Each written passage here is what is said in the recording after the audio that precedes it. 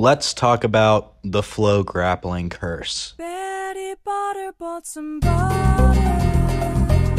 But she said the butter's bitter. For those who don't know what FloGrappling is, they provide extensive coverage on jiu-jitsu competition, events, and news. They offer live streaming of major tournaments including IBJJF Worlds, ADCC, and other prestigious events. They are also known to absolutely piss off their user base by charging a years long subscription that costs a left testicle and constantly has their streams go down. When do they go down? Well, they go down during these very large, prestigious events. So, what is the FloGrappling curse I speak of? Well, to put it short, right after FloGrappling makes an extended documentary on an up and coming jiu-jitsu athlete, they seem to immediately lose, get injured, or fall off as a top level competitor. Don't believe me? Let me lay out my proof. Exhibit A Nicky Rod uh, had a, the Flow Grappling documentary, The Black Belt Slayer, came out in July of 2020.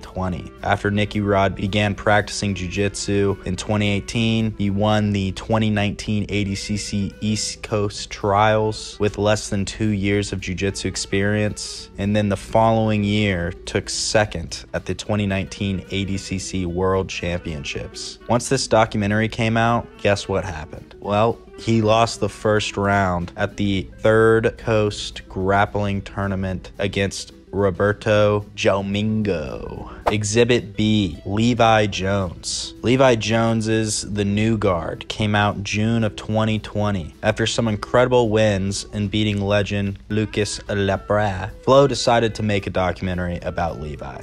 Well, what happened? After the doc aired, Levi kind of just stopped competing and has not been at the same top level competition setting since. Exhibit C Andrew Wiltse. An American Jiu Jitsu story came out February of 2021. This documentary featured Andrew, who soon became a beloved member of the BJJ community. He also ended up winning Purple Brown Belt Worlds. What happened right after this documentary aired? Well, he didn't lose, but instead got a pretty nasty back injury that has kept him out since. Exhibit D Giancarlo Spaghettioni. Becoming Dangerous came out in January of 2023 after Giancarlo became the ADCC 88 kilogram 2022 champion. This prompted Flo to make a documentary highlighting Giancarlo's rise you know what happened right after? He immediately lost to Pedro Modingo. Exhibit E, Tainan Dolphin.